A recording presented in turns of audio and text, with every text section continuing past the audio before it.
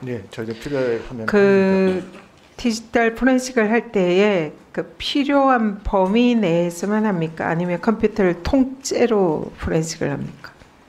저희들 제가 알기로는- 안 됩니다. 제가 알기로는 뭐 통째로 하는 건 아니고요. 필요한 것들을 한번 정해서 뭐 실제로 통째로 합니다. 통째로 컴퓨터를 뜯어가서 그대로 다 포렌식을 합니다. 뭐 아니 그러니까 위법이다는 그 지적을 드리고 그거 잠깐 좀 싶고요. 말씀드려도 되겠습니까? 지금 질문하니까 질문 듣고 답을 하십시오. 시간 드릴 때 화면 보시죠. 감사원이 최근에 이 디지털 포렌식을 굉장히 남발을 하고 있습니다. 근데 그 중에서 특히 아주 문제다 생각되는 것은 휴대폰 포렌식을 감사원이 지금 집중적으로 실시를 하고 있습니다. 우리 의원실에서 이 자료를 한 달 동안 요구를 했는데 자료를 주지 않다가 어젯밤에 줬어요. 뭐 그렇게 숨길 게 많은지 이 핑계 핑계 대면서 제출을 거부를 하다가 국감 하루 전날 어젯밤에 제출받은 자료입니다. 근데 그 수치가 매우 놀랍습니다. 윤석열 정권 들어서 휴, 휴대폰 디지털 포렌식이 어, 47건이 진행된다. 근데 이게 다가 아니라 실제로 현재 진행 중인 감사는 공개를 거부한다. 그러니까 이보다 훨씬 많은 숫자의 휴대폰 디지털 포렌식을 하고 있다는 겁니다. 이 디- 휴대폰 포렌식은 과거 정권에서는 없었고 이번에 윤석열 정권 들어서 최근 들어서 이렇게 급증을 하고 있습니다.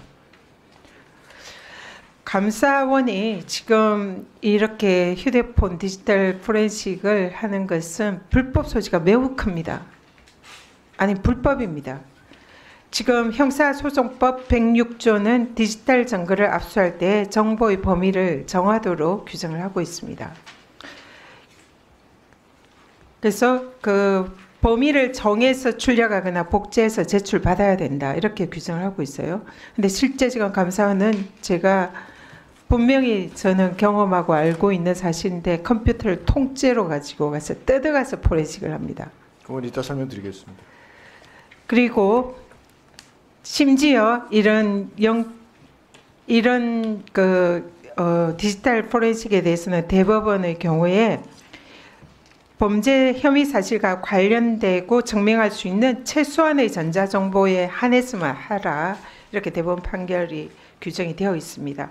그 중에서도 대법원은 휴대전화, 휴대폰에 대해서는 더욱더 엄격하게 규정을 하고 있습니다. 그래서 휴대전화는 컴퓨터라든지 USB 이런 것과는 명확히 구별되는 개인 정보가 광범위하게 포함되어 있기 때문에 이 휴대전화에 대한 압수수색은 기본권의 침해가 매우 크다 이렇게 해서 아주 엄격하게 해석을 해야 한다. 이게 대법원의 판례의 정신입니다. 그런데 감사원은 감사원은 이 디지털 포렌식 뭐에 근거해서 하시나요? 저희들 자료 제출 요구권을 근거로 하고 자료 제출 요구권, 네. 디지털 포렌식 지침 있죠. 네, 규정 내부 지침 있죠. 내부 지침과 자료 제출 요구권으로 하는 거죠.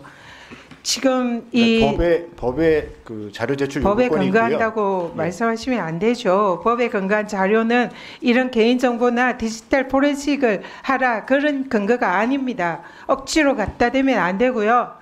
지금 디지털 포렌식 지침에 따라서 지금 어, 지침 이걸 하고 있다 이렇게 감사원이 그동안 여기에 따라서 많이 해왔습니다. 근데 이 경우는 대법원 판례도 맞지 않고요. 형사소송법의 기본 원칙에도 어긋나지 않고 헌법의 기본 원칙에도 어긋납니다. 헌법은 기본권 침해는 원칙적으로 법률에 근거해야 합니다. 그리고 법에 근거하지 않은 이런 기본권 침해 그 관련 지침 규정은 명백한 위헌 위법입니다. 그래서 지금 지침에 근거해서 이렇게 디지털 포렌식 하는 거 명백한 위헌 위법이고요. 더구나 휴대폰에 대해서 이렇게 디지털 포렌식을 하는 거 이거는 검찰도 하지 않아요. 이거는 완벽한 불법이에요. 그래서 수사기관조차 이거는 법원이 신청한 영장을 발부받아서 그 내용도 아주 제한적으로만 하도록 되어 있습니다. 이렇게 통째로 포렌식하는 기관은 아무데도 없습니다. 이거는 헌법 위반이고 법률 위반이고 인권 침해이고 그야말로 감사원이 무소불위로 제멋대로 국민들의 기본권을 침해하는 그런 행위다 이런 것을 지적을 드리고 싶습니다. 또 감사원이 이게 어, 우리는 당사자 동의를 받아서 괜찮다 이런 변명들 많이 해요. 당사자 동의를 받아서 디지털 포렌식 혹은 휴대폰 포렌식 못합니다. 감사원이 이걸 동의받으면 괜찮다 이런 주장 많이 하는데 이 경우에는 감사원이 협박을 하죠. 이거 내놓지 않으면 감사방해다. 감사원 자료 제출 거부죄다. 그래서 형사 고발할 거다. 징계할 거다. 이렇게 협박을 합니다. 협박을 받은 공무원들은 이 협박에 거부할 수가 없습니다. 어느 공무원이 감사원에 이렇게 협박하는데 거부를 하겠습니까?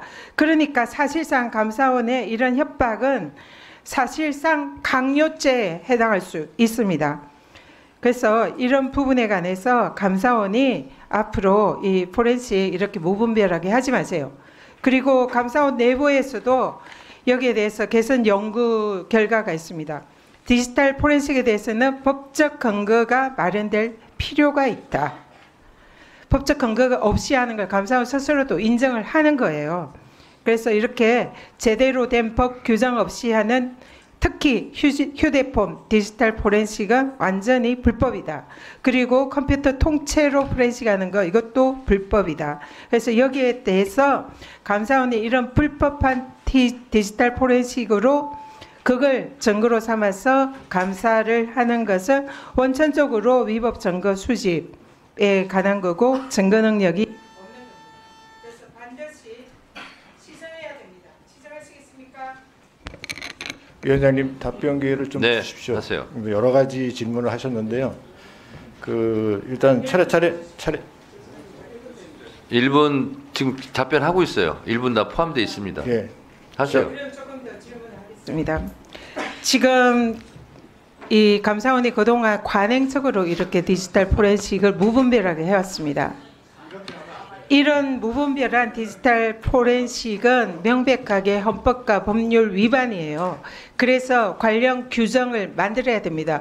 법률을 만들어서 그 근거하에 해야 되고 지금 현재 하고 있는 그 지침 위헌 위법입니다. 이 공무원들 피감 기관들의 인권과 그런 권리를 침해하는 거예요. 그래서 여기에 대해서 그런 식으로 계속 디지털 포렌식을 근거 없이 하면은 이거는 직권 남용이 될 수가 있고 개인정보보호법 위반이 될 수 있습니다. 이 부분 분명히 지적하고요. 거기에 대해서 앞으로 시정 조치 하시기 바랍니다. 네, 답변하세요. 예.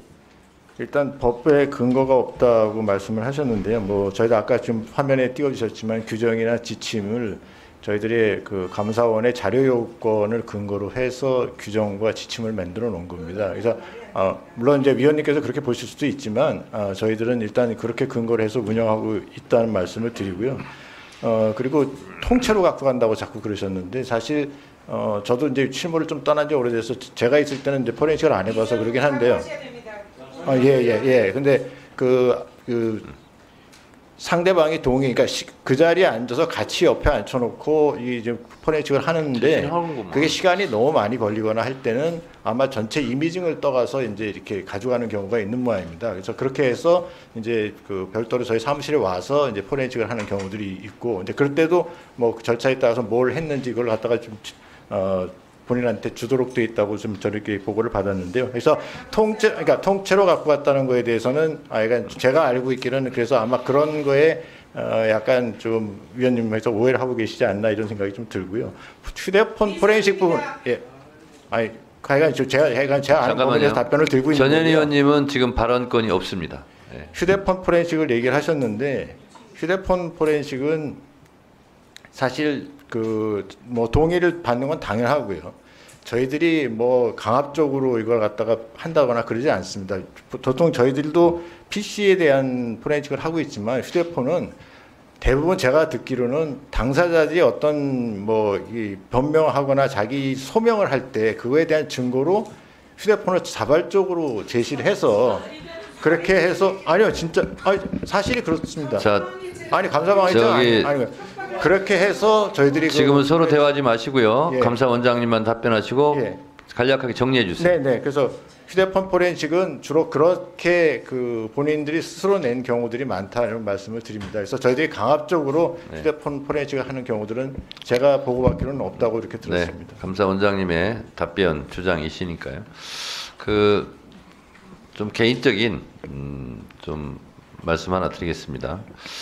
어, 인생사 세웅심하고 어, 언제 어떻게 에, 외나무 다리에서 만날지 모르는 게 인생사입니다.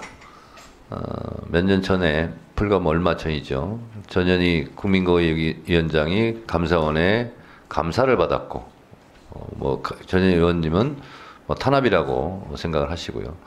또 전현희 의원이 국회의원이 돼서 감사원을 또 감사하고 있는 현장을 어떻게 보면 제게 이게 작은 상징적인 장면이 아닌가 이런 생각이 듭니다. 어, 달도 차면 기운다고 그랬습니다. 그리고 어, 무사도라는 게 있는데 무사들도 칼을 찌르되 비틀어 빼지 않는다 이런 말이 있습니다.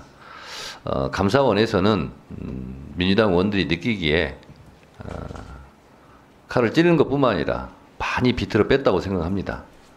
또 어, 반응이 있으면 또 바- 작용이 있으면 반작용이 있는 겁니다. 근데 제가 보기에는 어, 감사원도 어, 다리 차서 이제 지금 기울어가는 그런 시기가 아닌가 이런 생각이 듭니다. 아, 그래서 어, 누구나 다 아, 겪는 반복되는 일인지도 모르겠습니다만 그 과정 속에서 감사원이 예, 어, 안 좋은 일이 예, 없기를 바랍니다. 다음은 조배수 의원님.